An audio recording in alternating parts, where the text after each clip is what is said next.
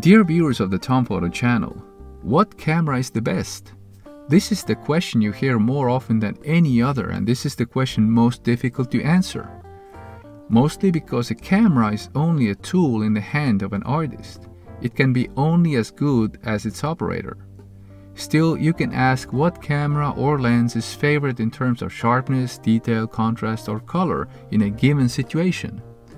Today I'm putting a 24 megapixel Fuji against a 24 megapixel Nikon. They are Fuji X-T20 and Nikon D3400. Both have been reviewed by me before, please see the links below. They are crop sensor cameras from the same era.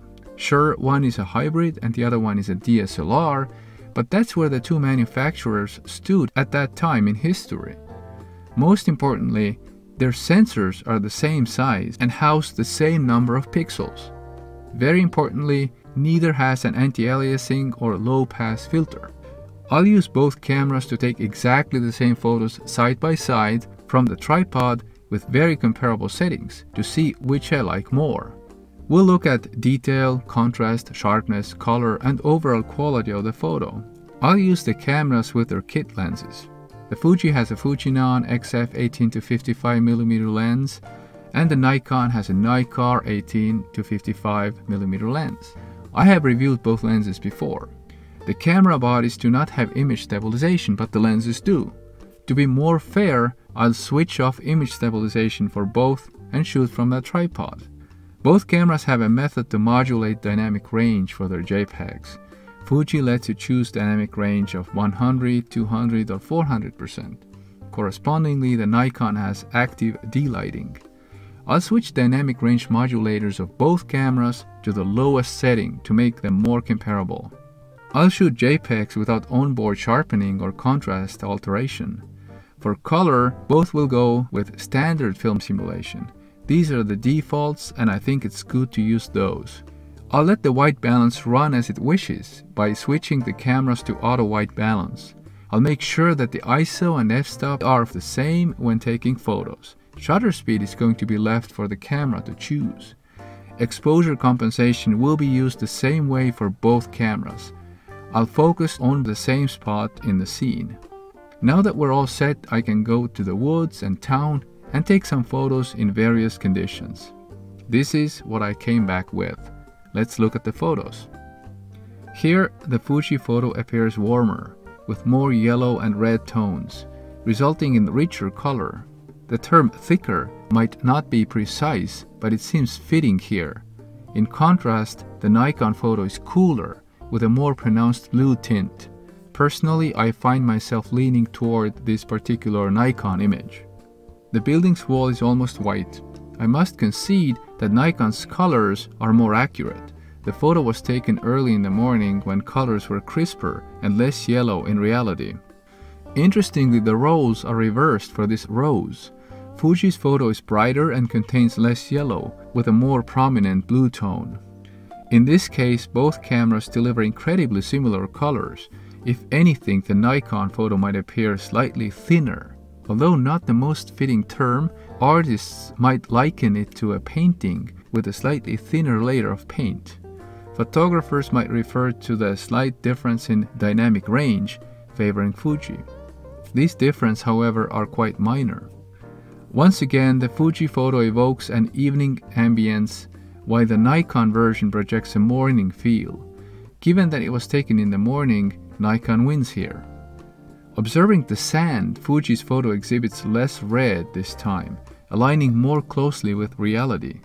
Despite snapping these photos in quick succession, the lighting did have time to shift between shots.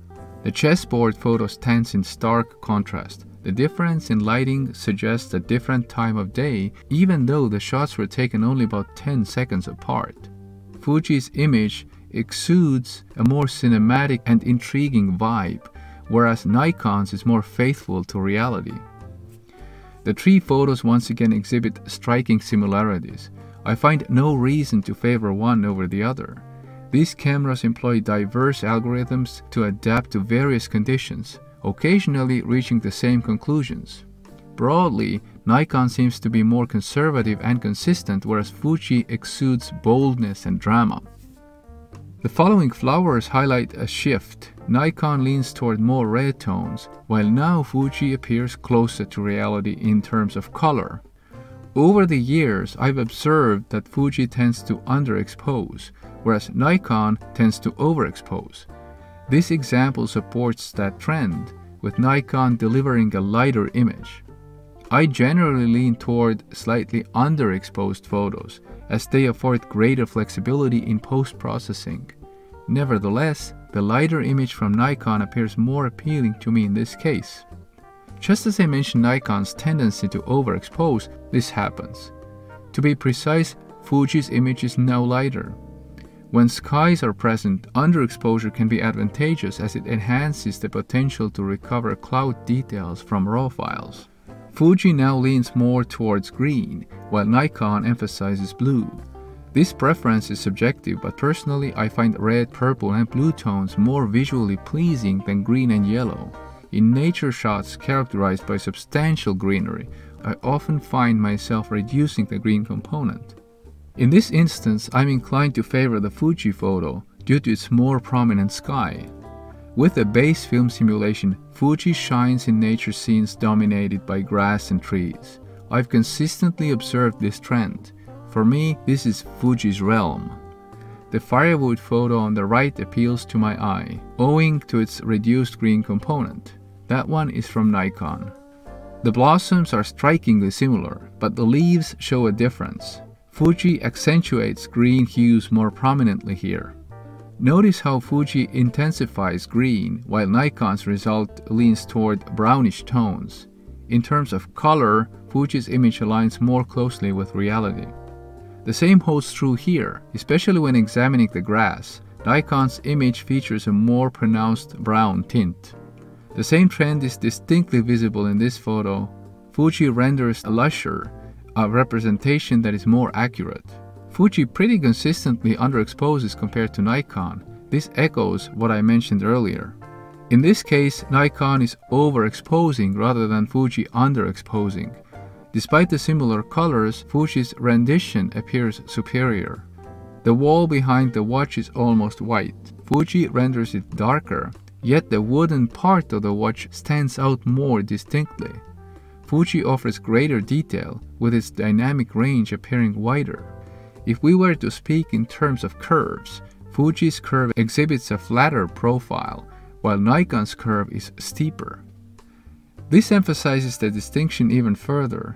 I would choose the Fuji photo over the Nikon photo in this case.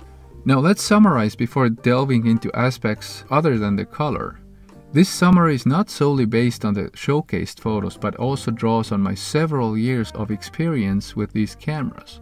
First and foremost, both cameras are remarkable. Yet they possess distinct characteristics. Fuji displays bolder tendencies, embraces experimentation, delivers greater impact, possibly underexposes, and offers more artistic enjoyment.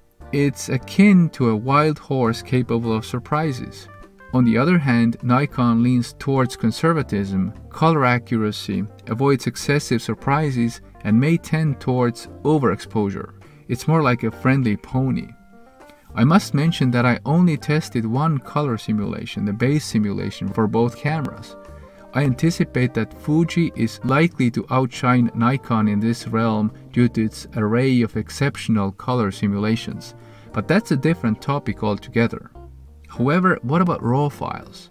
I selected the Fuji photo featuring benches and processed its RAW file in RawTherapee. Refer to my RawTherapee tutorial link below if you want. This is my preferred rendition of the scene. Subsequently, I took the corresponding Nikon RAW file and applied identical settings as I did for the Fuji image. The outcome fell short of the Fuji version. It appears slightly too bright. This is because Nikon files necessitate different settings to achieve the same outcome. Let me investigate whether I can identify settings that yielded the desired result. Indeed, I succeeded. I managed to find equally effective settings for Nikon. The outcomes are only marginally different. During the process of working with Nikon RAW files, I noticed that I was approaching the upper limits of brighter tonal adjustments though. Now let's reverse our approach. As a JPEG, the sky in this picture isn't particularly prominent. To improve this, I took the corresponding Nikon RAW file this time and optimized it. The outcome reveals a substantially improved sky. When I applied the same settings to the corresponding Fuji file, the outcome was suboptimal.